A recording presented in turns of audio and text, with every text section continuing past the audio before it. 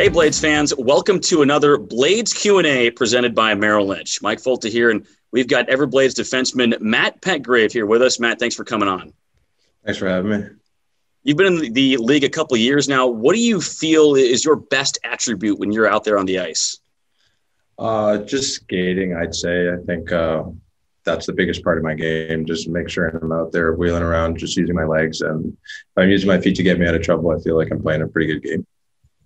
Uh, let's go back a little uh, to your younger days. What first got you into hockey, and what did a younger Matt Petgrave look like out there skating around? um, my dad actually got me into hockey. I think it was I think I was around four when I started first skating and got into the Brampton youth hockey program and kind of went off from there been a younger Matt Petgrave was uh, because I also played lacrosse growing up. I was the one running around on the ice, cross checking everyone in hockey. So I was quite the dirty player, I guess, or a little rat. But that's that's what the younger Matt Petgrave looked like, I guess. You're coming off of a couple of really solid years uh, with Brampton. You've had a few call ups to the AHL as well. How do you feel that this year with the Everblades is going so far? Uh, it's, I think it's been going well. Like I think the teams like we're coming together really nice right now, and it's been a lot of fun down here. Obviously, like um, I was with Brampton last season, but coming down here, it's um, great group of guys, great coaching staff, great organization. So it's been a treat so far.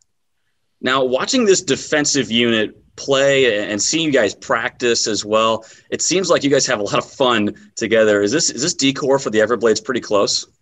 yeah, I'd say like we hang out a lot uh, at the apartments, and I think we're a pretty tight knit group, um, especially on the back end. Uh, like obviously the forward has the forwards have like their own group kind of thing, and the D, like during the game, we're all down at our end, so we tend to have a lot of fun, which makes uh, this whole experience that much better.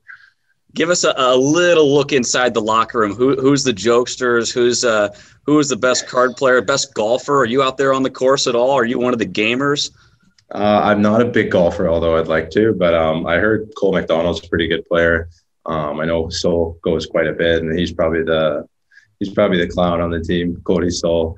Then um, you got pretty good DJs in the room with uh, Irvin Owl, then uh, Johnny Mack. So that makes uh, that makes it awesome too. All right, well that's great, Matt. Thanks for coming on here, and good luck the rest of the way. Thanks. That was Matt Petgrave on our Blades Q and A presented by Merrill Lynch.